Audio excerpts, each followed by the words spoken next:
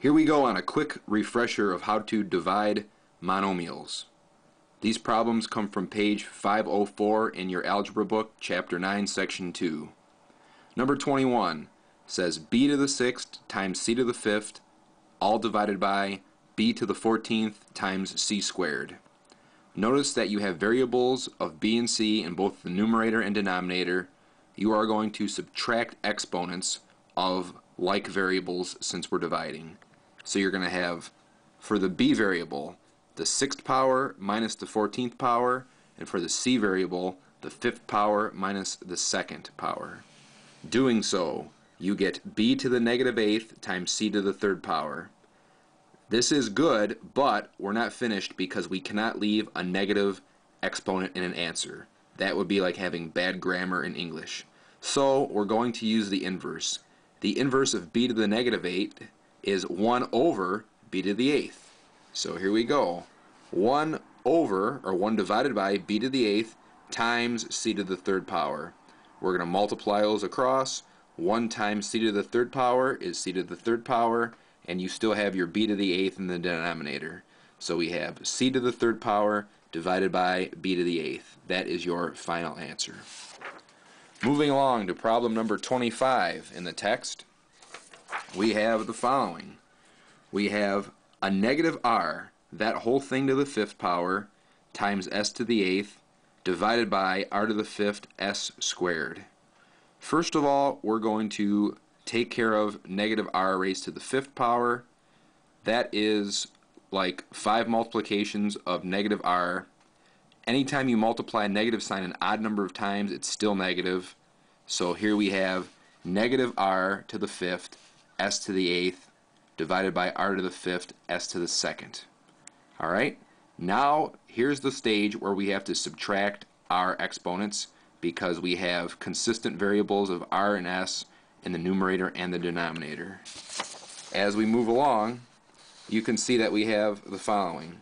We have negative r to the 0 power, s to the sixth. That's because if you have exponents of 5 minus 5, that becomes 0, and 8 minus 2 becomes 6. So there you go. We can simplify this one step further because anything to the 0 power is 1. So r to the 0 becomes 1, but there's the negative in front of it.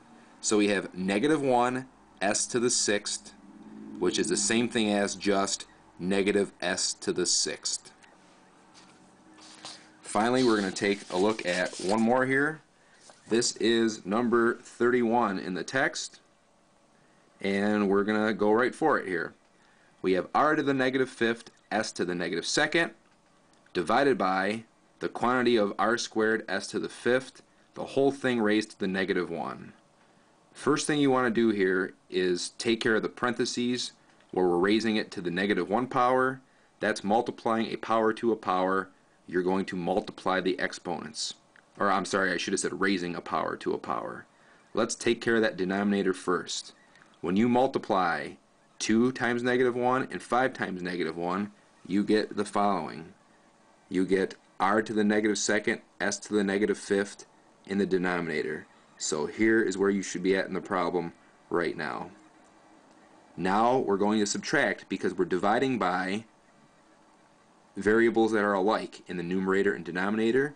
So for the r variable, we're going to do negative 5 take away negative 2.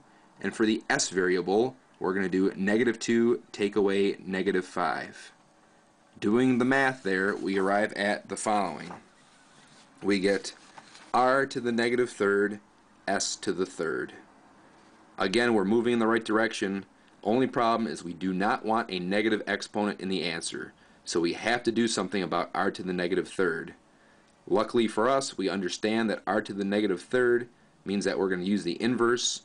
We're going to end up with 1 over r to the third.